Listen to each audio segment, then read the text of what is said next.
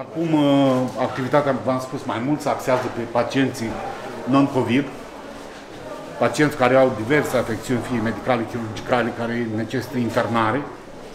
Face o simplă testare cu antigen rapid, pacientul se internează și urmând uh, cursul normal, firesc, al unui pacient cu nevoi care se adresează spitalului nostru. Cam 40. 30, mai puțin de 30%. Mai pu- sunt COVID. Mai puțin. Mai puțin de 30. Deci au scăzut prezentările pentru Da, da, da, foarte mult, foarte mult, în ultima vreme cel puțin.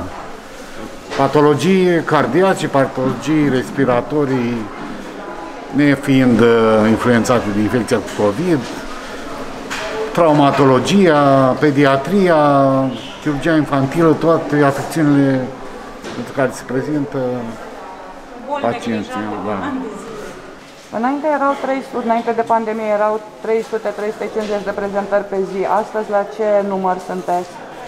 În jur de 200, 220, 230, Deci a început lumea să vină iară. Da, da, da, da, da. Deci avem uh, în uh, weekend chiar ajung la 150, 160, 180 de prezentări pe 24 de ore.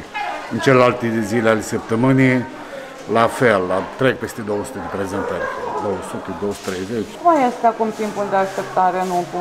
Oamenii se plâng pe- că stau în continuare 6 ore, 7, 8 ore. Mai sunt uh, situații când uh, Ce duce Avem- la creșterea timpului de așteptare? numărul mare de pacienți în sensul într-un anumit interval de timp. Probabil aici mai apar uh, disfuncționalități. Aici intră pacienții suspecți de COVID.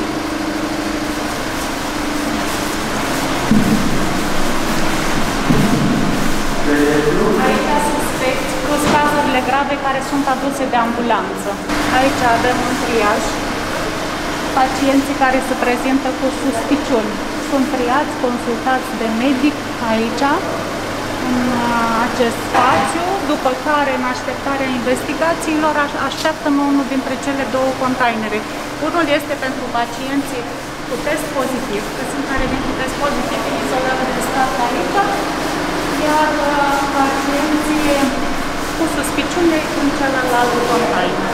Pacienții care se prezintă cu suspiciune, uh, li se face testul de antigen rapid pentru o bună, uh, să-i putem uh, izola pentru a nu prezenta un pericol pentru cei uh, negativi.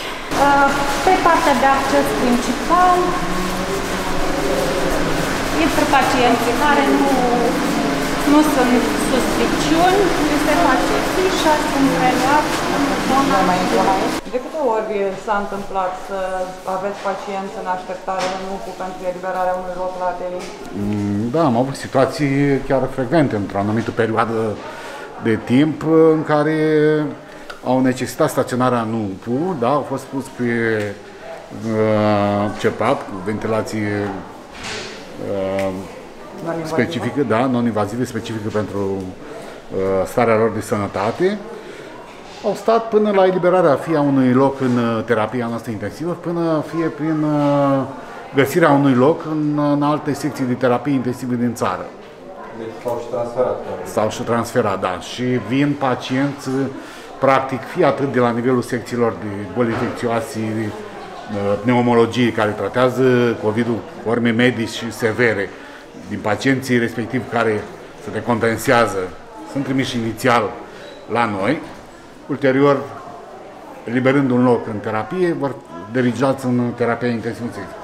Iar, în, uh, iar cei din județe, la fel, trimit pacienți decompensați care necesită uh, ventilații uh, non-invazivă, CEPAP, care la fel ajunge în UPU, dacă avem loc în secția noastră de terapie, ajunge în terapia spitalului nostru, COVID, dacă nu, de aici încercăm să luăm legătura din CCJI, să căutăm un loc în, în țară, undeva la un spital apropiat. Am transferat pacienți la Botoșani, la Bacău. Practic acum, dacă atunci 200 și ceva de pacienți sau 300 cât erau infectați în județul nostru, părea o, o bombă, să zicem așa, acum când în, în alte orașe și alte județe sau chiar în capitală, când sunt peste 1000, 1300 de infectări pe zi,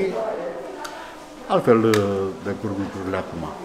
Deocamdată în Suceava infecția este undeva, suntem chiar în ultimele locuri, ca și au fost și momente în care am avut și noi episoade în care au fost un număr mai mare de prezentări de pacienți cu COVID, dar acum, în momentul actual, chiar când discutăm, suntem, uh, suntem bine. Aveți o explicație mai... pentru asta? Ce credeți că influențează incidența scăzută care este acum în Suceava? Faptul că s-a făcut un număr foarte mare de testări în județul nostru, comparativ cu alte județe.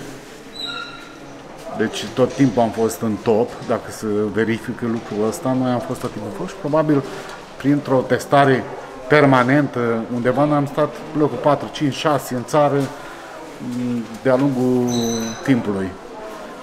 Probabil depistând cazurile, nu au mai permis răspândirea în, în, în populație, da. Aveți o explicație pentru numărul, pentru incidența scăzută din județul Suceava? Cred că sucevenii și-au învățat lecția dură acestei pandemii. Ehm, cred că unitatea dintre noi, ehm, legătura pe care o am, am reușit să o stabilim și să fim foarte aproape și să ținem foarte aproape cu autoritățile direct implicate în această pandemie, cred că au făcut ca incidența în momentul de față să fie sub 1 la mie. Ehm, vreau să mulțumesc tuturor celor implicați. În același timp trebuie să fim conștienți că lupta nu s-a încheiat. Avem preconizat un vârf al acestui ultim val, sperăm, undeva în 15-20 aprilie, uh, sperăm să depășim cu, cu bine. La nivelul județului uh, am o imagine a întregului județ în zona COVID.